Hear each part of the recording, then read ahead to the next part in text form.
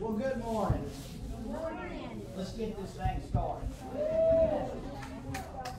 Oh man, y'all look beautiful once again. I tell y'all that all the time, right? Just say, today I look beautiful. Say, say I am a child of God.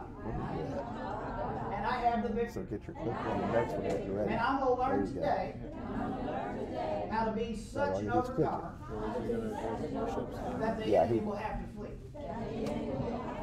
And that's what we're gonna preach about today. And I am excited, man. Happy Mother's Day. Happy Mother's Day. I, I want to honor uh, some women in my life. Of course, my mom. She is the finest mother ever. See, there's never been a time, even when I was a hood rat, that she never stuck with me.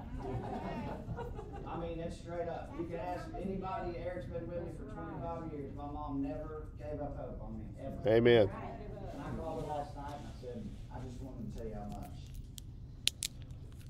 that she needs me.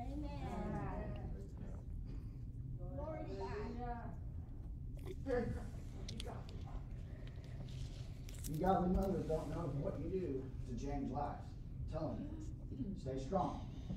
And my mother-in-law, you know everybody their mother-in-law jokes, right? Now, not me. She was an answered prayer.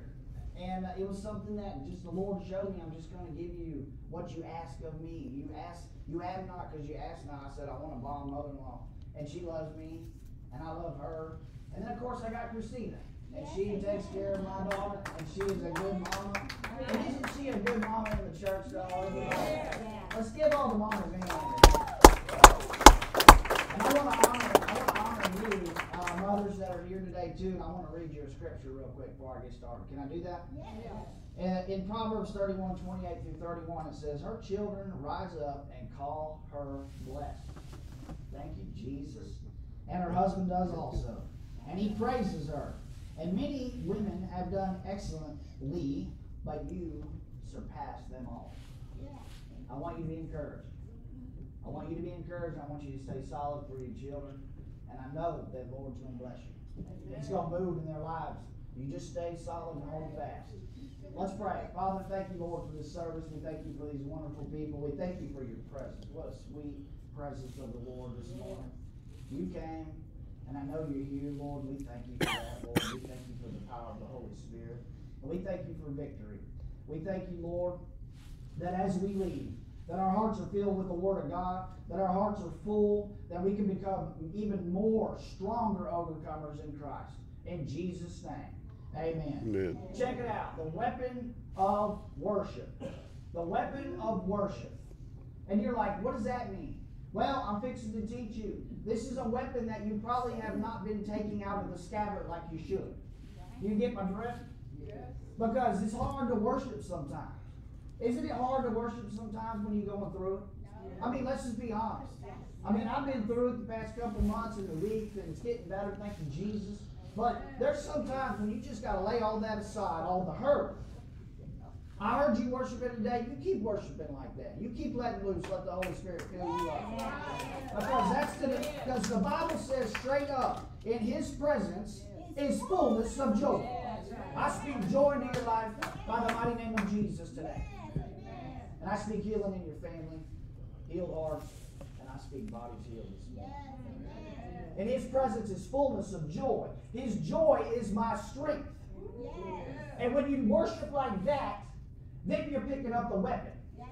And then the enemy's like, oh man, they done, he done pulled it out now. Mm-hmm. Because now, when remember I talked, I, I, I preached about it last week, how David showed up to fight Goliath with a slingshot, but he didn't come with a sword. But guess what? When he was done with the battle, he left with a sword. But now you got a sword now. So you got a sword, and I'm going to tell you how you have to unsheath that thing today. You gotta you gotta knock the dust off that weapon, and we're going we're going to get with it today. So last week we spoke on the breakthroughs in our lives as believers. If you did not catch that last week, can somebody was that a good message? Yeah. It ain't because I preached it because the Lord gave it to me, man. It was called battle tested. So if you didn't watch that, go watch that because it's going to coincide with this message. And battle tested is being, you have to be battle tested to grow in faith. It's just that part of it. You're like, Pastor, that don't make any sense. Well, all I know is all the people in the Bible had to go through it too. Yeah. I mean, You, and, but then I was talking about the dove, where the dove goes and he's and he's and he fills seeds in his throat and his crop, and he fills the seeds with uh, uh, his throat all day when he's out there gathering seeds and stuff. And then you see him on the side of the road, and guess what they're doing? They're eating little rocks and hard pieces of concrete and grit, and that's called grit. And the grit grinds up the seeds. Y'all already have seeds stored up that you have. You just got to go through a little grit sometimes to see the breakthrough. Amen. And so now I'm going to show you how to get the breakthrough today, though. And it says that at times we may not see it. Pastor, you, you, you don't know how it is for me. No, sister and brother, you don't know how it is for me sometimes too. Everybody goes through stuff.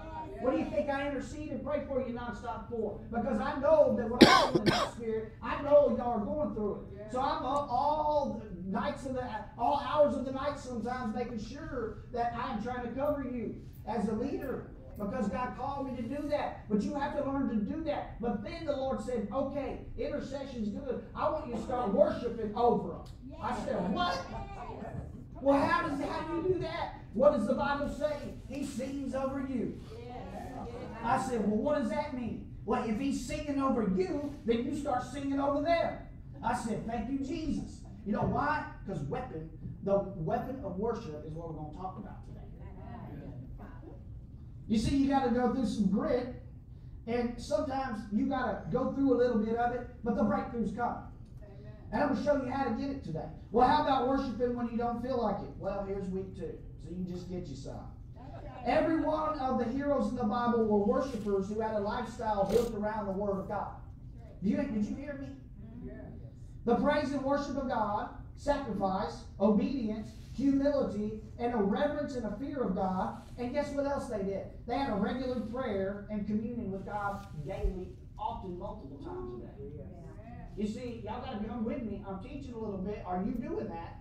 Make sure, make sure you're doing all of that because you want to see big things happen.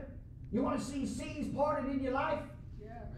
Then you do what is applied to the people that in the Bible. That's the examples the Lord gave us. And it was at these vital points of connection that kept them strong in the worst times of their lives. And it is no different today. That's why I'm preaching it. If you are in a battle season, if you're under heavy assault from the enemy, if the enemy's putting pressure on you, you see, worship is a spiritual weapon that will not only strengthen you from within, but it'll drive the enemy away. That's right. Man, this is already good. I'm gonna probably get fired up like I did last week. Yeah, I know. Ephesians 6:10. Finally, be strong in the Lord and the strength of his might. Quit trying to do it on your own. You're, you're, you're carrying a load that you can't carry. You were not designed to carry that. The yoke is supposed to be put on him because he said, My yoke is light. Come to me, all that are weary and heavy laden, I will give you rest. Verse number 11, put on the full armor of God so that you will be able to stand firm against the schemes of the devil. 12, for our struggle is not against flesh and blood, but against rulers, against the powers, against the world forces of the darkness, against the spiritual forces of wickedness in heavenly places. Therefore, take up the full armor of God so that you will be able to resist in the evil day, and having done everything, to stand firm. You've got to put on the armor. You gotta you gotta unleash the weapon sometime. And that's what we're to preach about. Even if the situation you're stuck in is affecting everything in the natural. Quit looking with natural eyes all the time. Because you're going to stay in that same place. You're going to stay in that same defeated, dark place if you look at everything in the flesh.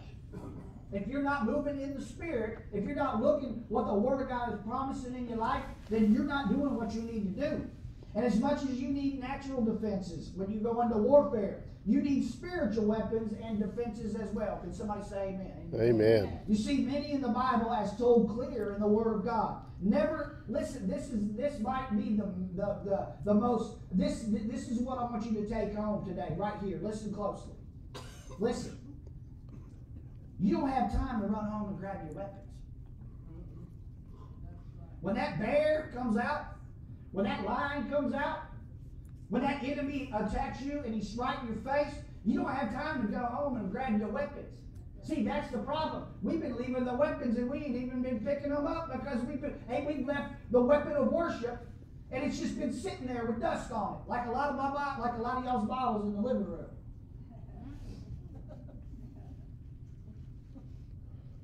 And so I hope you caught that, because the enemy can appear at any moment, because he says he goes around trying to seek who he may devour.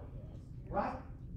So don't leave that weapon of worship just laying there because it's just sitting there and it's not of any use. So if I had a gun and I came into, uh, I came, I, or if I had a knife, right, and I came into a gunfight, that wouldn't be a good thing. The guy has an AR-15. I got a knife. What, what, what am I going to do? Right? Quit, quit leaving the weapons at home. You know, that's what I'm trying to say. You see, they carried their weapons on them.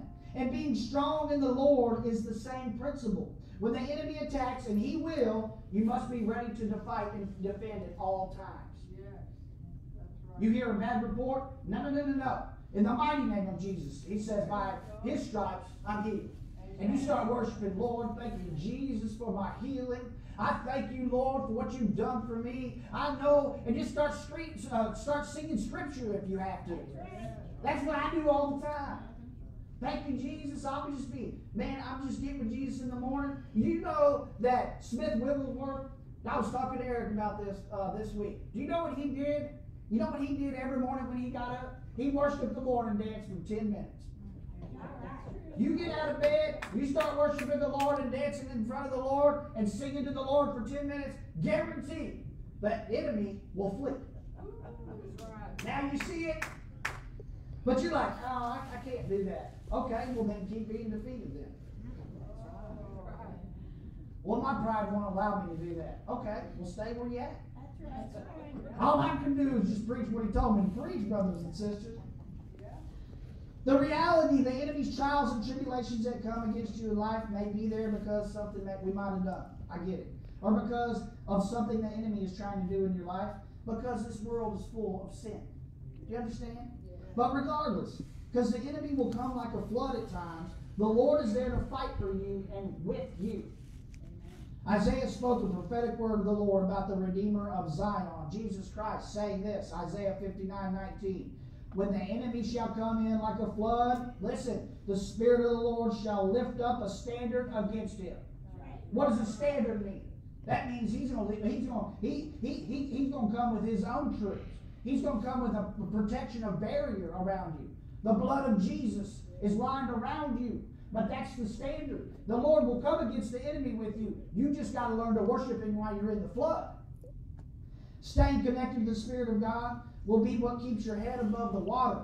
It means spending time, listen, in His presence in worship, strengthening your faith roots through His Word, and communi- uh, communicating with Him daily in prayer. I hope you got that. Maybe I should cover that real quick again. In His presence in worship, strengthening in your faith roots through the Word of God, and in communication with Him throughout the day. Jude says to pray without ceasing. Well, Pastor, what does that mean? That means you don't have to sit there and pray in the Spirit for 24 hours. I mean, you might, you might have a major breakthrough if you do that. I know I've had to do that sometimes when I fast and stuff. But my point is, it means you want to you want to stay in the presence of the Lord throughout the day. You you want to stay in communion. You want to work, keep worshiping the Lord throughout the day. And then that way, guess what? You don't have a gap for the enemy to come through then. Somebody say amen. That's why he said that. The floods will come and go, but they don't have to destroy your life because you're anchored on the solid rock. You are anchored in the solid rock, which is Jesus Christ. You see, when the enemy comes in like a flood, the Lord will show himself to be your solid rock, and he will provide the higher ground upon which to stand, and then you can walk forward. Point number one the joy of the Lord was their strength. Here we go. In Psalm 63, you know, when David was trapped in the wilderness of Judah and he was being pursued by King Saul, King Saul was trying to kill him. Like, nonstop. As he fled for his life and he hid, he wrote these words in Psalm 63 6. This is what the psalmist said. This is what David said When I remember you on my bed, I meditate on you in the night watches. Verse 7 For you have been my help, and here we go. In the shadow of your wings, I sing for joy. He learned. All I gotta just all I gotta do is meditate on him in his presence, right? That's what he said. And then I start singing to the Lord, and then he'll fight my battles and keep me protected. Man, that's good.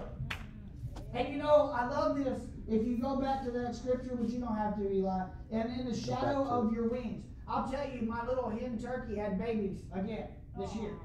She had 13 of them. So she had last year she had uh, I think 11 or 9. This year she had 13, and she brings them into the yard when they hatch. And so last year on Facebook, it was the exact same day they hatched this year, oh, which was last week. So I come around the corner and it's raining, and I see this little black thing, and it's like this. And I'm like, whoa, hold up. Is that? I was like, I rebuke you, devil. Because I'm kind of creepy out there, and it's like, I'm sitting there, what is that? And I, I couldn't tell what it is, and I'm in the woods hunting all the time, and I couldn't really tell what it was because it was raining and it looked super creepy. And you know what it was? She went like this, and all those babies followed it. I was like, man, thank you, Jesus. I couldn't get my phone out fast enough. I got it on video. Some of y'all seen it on my social media this week. And I, I videotaped about seven seconds of them, and I counted 13 of them. And she was going, and here they come. Here they come. What was she doing? It was raining. The water was trying to get him. I just preached about he he says he'll rise out of the flood onto the solid rock and he'd cover you with his wings. And the Lord said, That's what I want you to preach this week. I said, Okay, that's beautiful. I love baby turkeys and I'm super down with that. but she did look creepy, I'm just saying. It was weird, bro. You see, you gotta push past your flesh sometimes. Because somebody I know that hurts. You must offer yourself as the living sacrifice sometimes. Well, what does that mean? Because it's the secret of victory in the spirit. You see, worship is always the right response. You know why worship is always the right response? Because you're coming to the Lord with thanks and gratitude. The enemy can't touch that. Well, I'm through it. Well, thank you, Jesus. The Lord is my shepherd. I shall not want. He leads me to green pastures. He lies me down by still waters. He restores my soul. You gotta start trusting in Him to lead you to the places. He's your shepherd. He covers you with His wings. Sing to Him and tell Him that, and then the devil has to flee. Start praising Him, thanking Him, being grateful. There's some days when I get up, man, thank you, Jesus, for everything you're doing in my life. I thank you for all those beautiful people that come to Hill Country Life Church. I'm so grateful for them. I speak life into them. I speak the mighty name of Jesus into them. I ask you that no weapon formed against them shall prosper. And you cover them with their blood, and the enemy cannot come sneak in like a wolf. And I bind the same, and I just get start praising. I get all fired up, and then I start singing like children's songs. Like I learned, like I learned in, in the nursery when I was young. He just brings back these old songs to me. And I'm just like, man, I just get so excited. And I go back to my roots and I remember, you know what? Them little kids used to sing every day and they'd be so happy. The Lord said, come in like a child. Yep. Start praising Him. Quit being so prideful. You old prideful fag. I'm too good for that. I'm just gonna handle this by myself. Go on then. Psalms 50, 23 says, He who offers a sacrifice of thanksgiving honors me. And to him who orders his way aright, I shall show the salvation of God. When you worship and thank him continually, you are honoring him. Do you think he ain't going to honor you? He will. He sings over you, so sing over him. Listen close. Worship becomes a weapon of war against the enemy when you step away from who you are and what you're going through, and then you step into the presence of God. When you quit looking at yourself, when you quit having a pity party, when you quit whining, when you quit being in that depressed state, when you quit being so anxious, you say, Jesus, I'm giving that all to you, and I'm going to worship you today because you're going to bring me through and get me out of the flood. Amen. Nehemiah 8:10 says, The joy of your Lord is your strength. Psalm 16, 11 says that in his presence is fullness of joy. Who caught some joy today during praise and worship? Was that heavy on you? You, you might have wept, but then you felt like, man, the Lord is right here. He's amongst us. He's next to me. He walks with me and he talks with me every morning. I spoke to him this morning. Psalm 22 3 says, The Lord's presence dwells within the praises of his people. Read it. You want the presence of the Lord? You want that anointing on your life? Start praising the Lord. Start praising Him. Start clapping. You start rebuking the devil every morning and start praising Jesus. You ain't even got to rebuke the enemy. Don't even worry about sweating him. When you start worshiping and praising the Lord, now you're unleashing the weapon. Y'all like this? Yep. Is this something that's going to help you? Yes. See, when you do that, you become battle tested each victory over each victory. Watch this. Second Chronicles twenty twenty-two. When they began singing and praising, here we go again. I hope you read that. When they began singing and praising, the Lord set ambushes against the sons of Ammon, Moab, and Mount Seir, who had come against Judah, so they were routed. Do you know what routed means? They were stomped.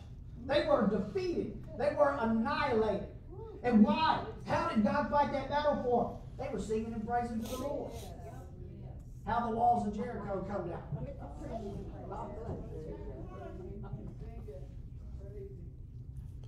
Somebody gonna walk away with some victory out of here today. I'm tell you that right now. You see, worship makes the enemies flee, and it brings down strongholds. Boy, it's some good. I'm, I'm sitting right now. I'm getting hot. I feel like I think I'm 45 and going through a hot flash. Thank you, Jesus. what did they do? They praised the goodness of God and the evil. Uh, they praise the goodness of God amid the evils of the world. Listen here. Now here we go. The apostle Paul and Silas worshiped the Lord even as they experienced the worst of what the world could throw at them.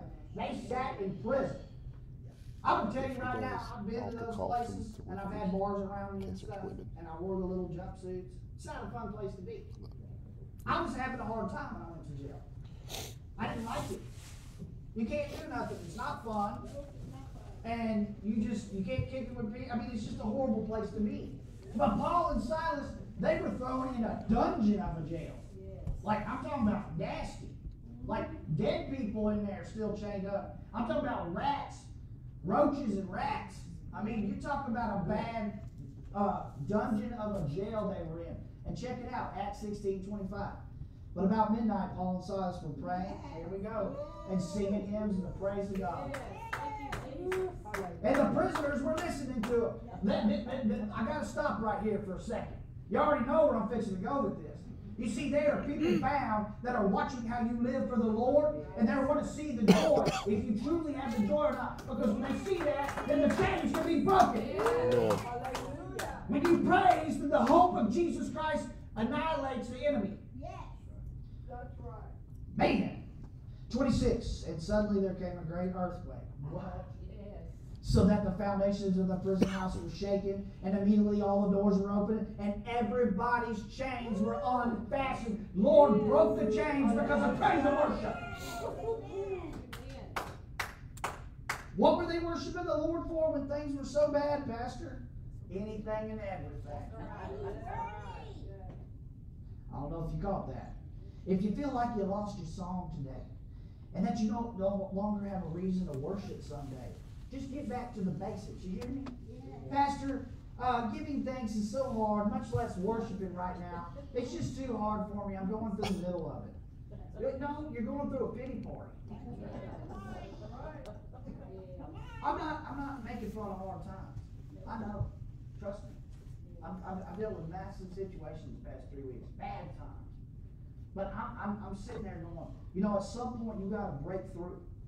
At some point, it, it can go the mourning and grieving and everything. I get it, and let the Lord work through that. But the depression and staying in a state where you cannot move and the enemy has you bound and surrounded—that's what I'm talking about. You got to get a breakthrough, and worship is your weapon. When you least feel like worshiping, that is the most powerful time to praise and worship. the Lord. Yep. Yep, yep. Amen. Because you're bringing him a true sacrifice of praise then. You're sacrificing your little feelings in your flesh, and you're bringing him a true sacrifice of praise because you're worshiping when you don't feel like worshiping. Mm-hmm. And that is when the walls will start crumbling down, brothers and sisters. And that's when you see the prisoners will be set free. You see chains start to break then when you unleash this weapon.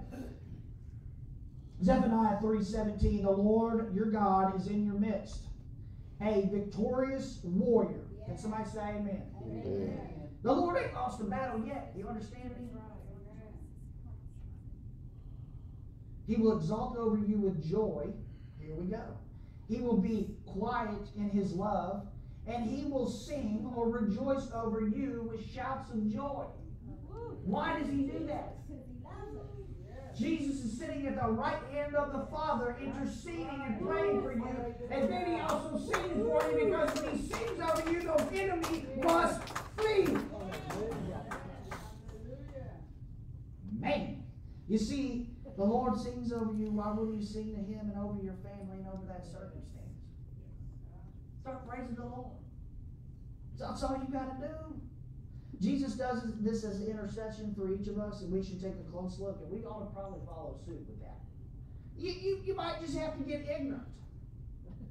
If you get my drift. You might, you kids and your wife might look at you like you are the craziest fool that ever stepped in Texas.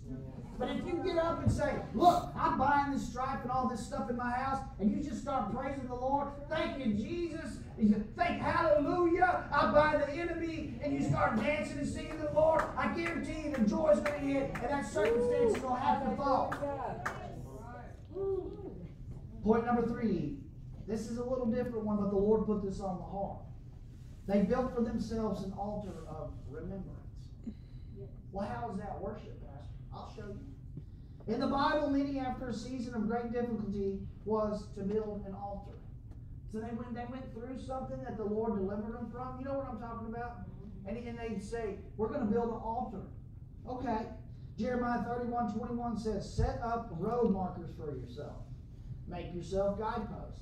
Consider well the highway, the road by which you went. Mm-hmm. You have a testimony of the goodness of God.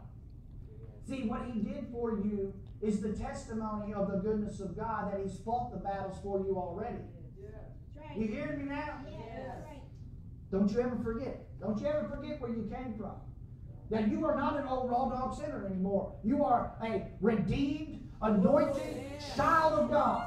Amen. But don't ever forget where you come from because when people do that, they, they lose that, that, that reverence and then there's not a whole lot of worship left in their heart. I'm grateful. I'm, I'm, you see these scars right here? That was from a blade. And I was laying on my porch almost dead. I cut my wrist. Do you think that I give a rip about now these ho- uh, tattoos of hope and a scripture of my wife? If I got those scars, I could put these on in remembrance of what Jesus did for me.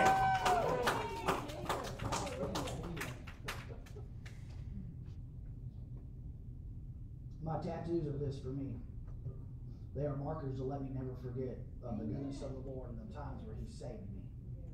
He brought me a jewel when I put this on my ring finger.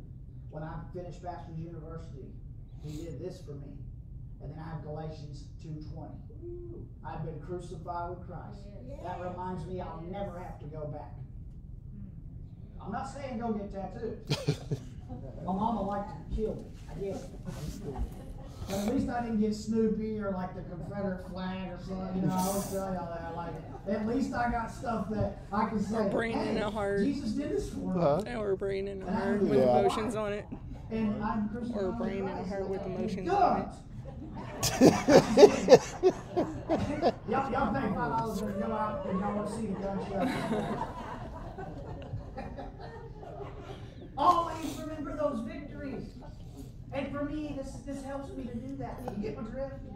Don't be so religious. It's okay. And when things are at their worst, your testimony will be the lyric of the songs of gratitude that you sing to the Lord. Sing to Him with your full heart. Try it this week. Who's going to try that this week? Just, just make sure everybody's out the first time so you won't be all prideful and stuff. You know, the dogs are gonna be like, like, 'cause I sing and they all start barking at me. So, Psalms 41. Here we go. Trying to wrap this thing up. I waited patiently for the Lord, and He inclined to me, and He heard my cry. He brought me out of the pit of destruction, out of the miry clay. and he set my feet upon a rock, making my footsteps firm. And here we go. Look, he put a new song in my mouth, a song of praise to our God, and many will see and fear and will trust in the Lord. You want to see people get changed? They start watching you worship like y'all did this morning. You get people coming into this church, y'all worship like you did. You're going to see change broken off of people. I'll show you. After a year-long flood, Noah built an altar in the worship uh, to worship the Lord. Think about that for a minute. That was a big thing he went through. I mean, that was that was a scary situation. You know how many years he had into that? Of course, he's going to build an altar. That's in Genesis eight twelve. And after a terrible battle with uh, Amalek, where Aaron and Hur held up uh, Moses' hands in the day of battle, Moses built an altar because they won the battle. Listen to me. Listen to me closely right here. When you lift your hands and you keep them up, and you may have to have somebody help you keep them up, when you start worshiping the Lord and hands get higher, the battle is won. After David sinned and God had punished the people for what David did, David repented and built an altar too in 2 Samuel. So sometimes you got to understand you have to rely on the grace and mercy of Christ sometimes and don't ever forget it. Mess up, fess up, repent, Yeah. but don't forget that He gave you that grace. Don't take grace for granted. Somebody say no. Yeah.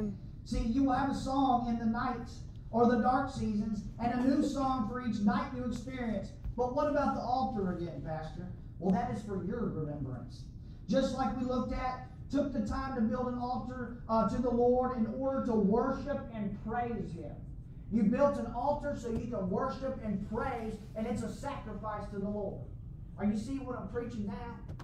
Someday the altar you built in your memory of what God is doing for you today, listen, will be your point of origin to guide you through the next storm.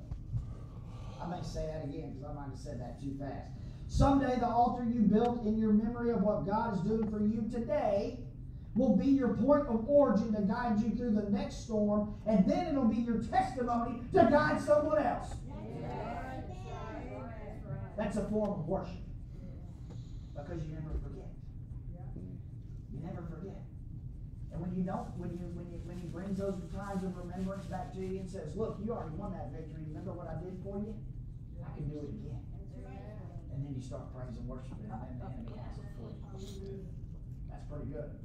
That's the best I can describe it. Everybody get that? Yep. Okay. And in closing, I'll say it again. You see, worship becomes a weapon of war against the enemy when you step away from who you are, who you are, and what you're going through in order to step into the presence of God. It's leaving the flesh, it's leaving the problems, it's leaving what the enemy is telling you, and it's stepping into the fullness of God, and then the joy hits. Praise and worship is the weapon. It's the same perspective that carried the examples in the Word of God for people to get through to each victory. You see, praise and worship are supernatural acts of power to force yourself past the flesh and into the spirit. Sometimes you got to do that. Sometimes you got to force yourself out of that little pity party and say, I'm going to worship you today, Jesus. I'm going to praise and honor you today. I'm going to spend time in your presence, and I expect you. And please give me the joy today. It will be your greatest sacrifice, and I guarantee the Lord won't forget it. He won't. You see, remember last week? I'm going to show you something. Remember last week how I ended with Abraham? Genesis 22 9. Then they came to the place of which God had told him, and Abraham built the altar there and arranged the wood. And he bound his son Isaac and laid him on the altar on top of the wood. You see, right at the moment when he was fixing to to to to slay his son on that altar, the angel said, Stop. And then all of a sudden he looked to the right and there was a ram caught in the thicket. So the Lord said, I saw your faith. I saw what you were fixing to do because you were fixing to slay your only begotten son. And then what happened? He said, Stop, spare the boy, I'll provide for you. But I will honor your faith. Now listen, we've discussed that. You see, faith was answered at that very moment for Abraham. Abraham was spared by his faith. God thus provided the ram instead. Then his faith saw a miraculous breakthrough of seeds that he had planted. The breakthrough came through his life after he put that faith. But here we go. Then, this is what I want you to pay attention to this week. Then he worshiped him. he worshiped the Lord, and the name of the place was called God Will Provide. Start worshiping and living your life as a sacrifice of worship Him. He'll always come through and provide for you when you do that. Can somebody say amen? Amen. Did y'all see that? You see, many forget what the Lord has done for them. Don't you ever forget. Continually thank Him with a song of thankfulness and stay in His sweet presence. Do you know that you don't have to come to church on Sunday? When Christina's up here singing and everybody hears and has a corporate anointing, do you know that you can do that throughout the week? Don't think you've got a church to come to church to do that. Do it on your own and then watch your life change. Continually thank Him with a song of thankfulness and his stay in His presence. And then guess what? You give no room for the enemy attacks. Worship Him for what He has done and by faith for what He will do. Start singing these promises. Now I'm going to leave you with this to help you. Psalm 41:11. By this I know that you are pleased with me, because my enemy does not shout in triumph over me. Verse 12. As for me, you uphold me in my integrity, and you set me in your presence forever. That's a good one to sing right there. Because you give no room for the enemy if you sing that throughout the week. Satan cannot defeat you without your permission. That's right. That's right. He can't. That's right. You just been giving him permission. Break the chains, get the breakthrough, and most of the time it's going to be praise and worship that does it for you. Because what that does, it allows you to go into the presence of the Lord, and then He can take you into further intercession or into the Spirit or wherever He wants to take you. But you've got to start praising Him first.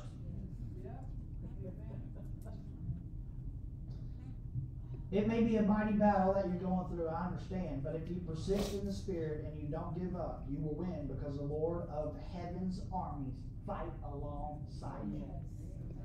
Heaven's armies will fight for you. Isaiah 8:13, here we go. It is the Lord of hosts whom you shall, uh, should regard as holy, and he shall be your fear, and he shall be your dread. You should you just start singing this daily and tell the devil where he can get off. If you just say, Lord, hallelujah, you're so holy. You are my strong tower. You are, you will take me and, and, and, and make me have wings of an eagle where I will not faint and I will run. And you start praising that, and then you get excited and say, Thank you, Jesus. Thank you, Lord, for the Holy Ghost. And you just start pumping. I said, Thank you, Lord, for the Holy Ghost. You're my comforter, my helper. On him I do declare. Thank you, Lord. Thank you, Lord. Now you do that every morning. You watch what happens. The enemy's got to go. The, the walls will tumble. And, the, and, and, and nothing can touch you. Man, I'm super hot right now. Y'all got a song out of me this morning, didn't you? I gotta, leave an example, right? So the song is we'll just hit the logo so it'll quit. You know what I I'm mean? The praise and worship.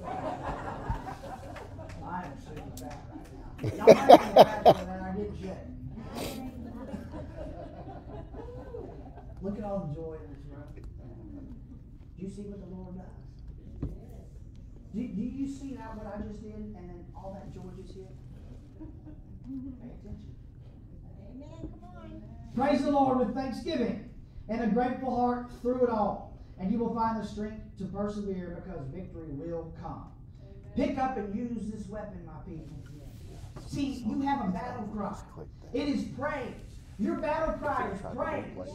And giving thanks to God in all circumstances will be one of the greatest emotional, mental, and spiritual challenges you'll ever face. But study the examples I've shown today, and it will encourage your spirit. And remember, the battle always belongs to the Lord. Amen. So I'm telling you this week to stir up your faith and find a new song in your heart. Unleash that weapon of warfare and watch God fight your battles. And it's time to release the praise in your life. I'll end with this scripture, Psalms 149 4. For the Lord takes pleasure in his people. He will beautify the afflicted ones with salvation. Thank you, Lord, for that. Let the goodness ones exult in glory. Let them sing for joy on their beds.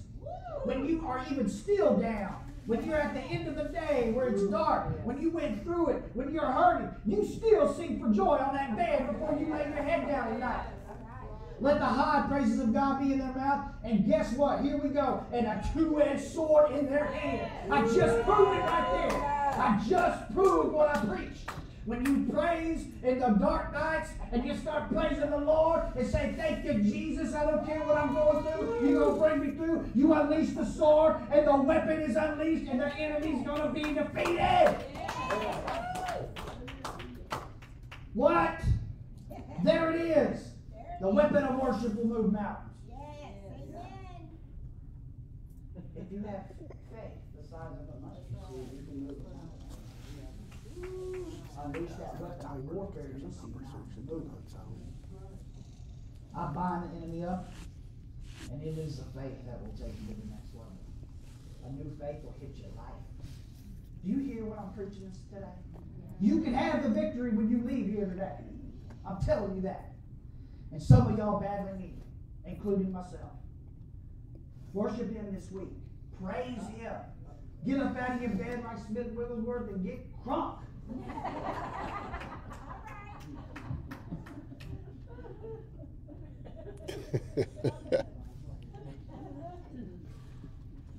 I love the joy in this house today.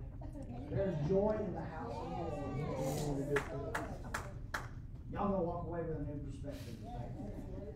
And I pray that the Lord builds your heart with joy. I'm gonna pray for you right now. And then we're gonna do an altar call. You know we always do that. Father, I thank you for these beautiful hearts. I thank you for the word of God today. I thank you for this fresh revelation in our life this morning, Lord. I know that I got victory personally. And I know that the joy of the Lord is our strength. And I say, Lord, that you give a fullness of joy in every person's life here today, the ones that are watching online. I speak of fresh faith. I say, if they're in the flood, Father, that you yank them up out of their miry pit and you set them on the solid rock. And when they get on that rock, they will shout for joy in the mighty name of Jesus. I thank you that for everything you've done for each and every one of us. I thank that you have given us salvation. I think you have filled us with the Holy Spirit and that power. And I thank you, Lord, that you love me enough to save my life. And I'm up here showing people what you can do in their lives. And I'm grateful for that today, Father. I'll never forget. I'm grateful for all, all the things that you've blessed us with. I'm so I'm so grateful for all these wonderful mamas this morning. I ask you to give them a strength, Father, that they go out and they dance in front of you, Lord. I ask you to put a new song in their heart today, Jesus. In Jesus' name. Amen. Amen. Keep your heads bowed. We always do an altar call. You see, Jesus came to reverse the outcome of what we deserve. He came to save the sinner. That includes every one of us. And who this morning would like to have a fresh outlook of this goodness in our? The first step is to accept Him in your heart as your Lord and Savior.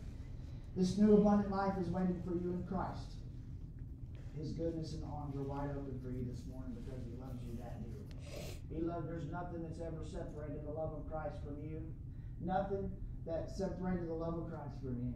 Everybody say these words with me while you keep your heads bowed. And if anybody wants to accept Christ here in this house today, please raise your hand. Everybody's good. It's just family. It's just us. Man, I got crazy and danced and sang in front of y'all. So you raise your hand and Jesus this morning. Because it'll change your life and you'll be a new creation. Old things will be gone and new things are coming. And if you're online and you need to accept Christ as your Lord and Savior, y'all repeat this prayer after me. Y'all know how we do it. Lord, I know that I'm a sinner. Lord, I know And I'm in need of you. and I'm in need of you. I know that you died on the cross I know that you died on the cross for me for me and rose on the third day. And rose on the third day. For me. for me. I would like to experience your mercy. I'd like to experience your mercy. And grace in my life. and grace in my life. I ask you today, Jesus, I ask you today, Jesus, to come into my heart. to come into my heart. And change me, and change me, save me, save me, make me new, make me new, to forgive me of my sins. To forgive me of my sins, and wash and cleanse and wash and cleanse me. Fill me with the power Fill me with the power of the Holy Spirit. Of the Holy Spirit. I thank you for loving me. Give me new hope in Jesus' name. Give the Lord a hand.